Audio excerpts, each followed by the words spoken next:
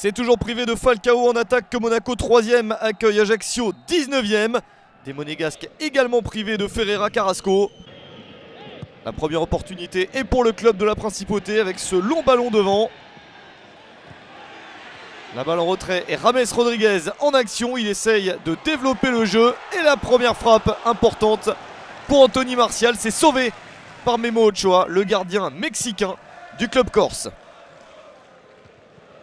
6 victoires, 2 nuls et aucune défaite à domicile pour la SM. Les Monégasques sont favoris et s'emploient à ouvrir rapidement le score, mais toujours Ochoa sur la trajectoire des tentatives adverses. Monaco qui reste sur 3 victoires consécutives sans avoir encaissé le moindre but. Attention quand même à une bêtise qui peut offrir un ballon de but à Ajaccio.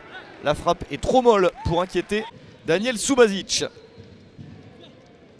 Monaco reste dominateur avec un nouvel échange qui peut mettre les attaquants sur orbite et pourquoi pas un geste acrobatique, toujours martial dans ses œuvres.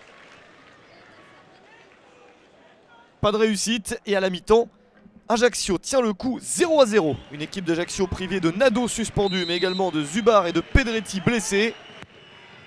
Un corner peut-être pour changer la situation et le sauvetage superbe de Guillermo Ochoa. Le gardien mexicain permet toujours à Ajaccio de tenir le point du nul. Et attention à cette vilaine faute. Jean-Baptiste Pierazzi a déjà pris un carton jaune à la 24e minute. Voici son deuxième à la 61e minute. Et le milieu de terrain de la CA est exclu. Monaco va jouer en supériorité numérique pendant la dernière demi-heure.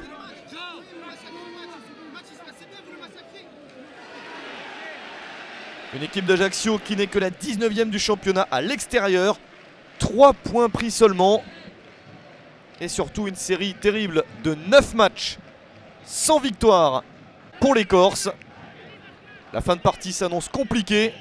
Monaco insiste avec ce nouveau ballon sur le côté gauche. Le centre de Kurzawa. Le ballon qui est dévié. Sauvé dans un premier temps par Ochoa, pas dans un deuxième. La reprise d'Emmanuel Rivière à la 75e minute. Monaco ouvre enfin le score. Huitième but de la saison pour Rivière. Il revient à une unité du meilleur buteur du club, Falcao. Une ouverture du score compliquée, mais un quart d'heure de la fin. La SM tient enfin ses trois points. Un score qui pourrait augmenter avec ce coup franc de Rames Rodriguez. Le Colombien a trouvé une magnifique trajectoire sur le poteau. Pas de réussite pour le meneur de jeu monégasque.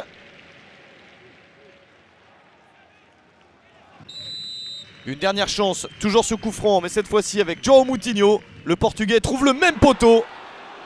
Monaco a eu beaucoup d'opportunités. C'est Ajaccio, trop peu. Victoire courte, mais logique de l'AS Monaco. 1-0 contre l'AC Ajaccio.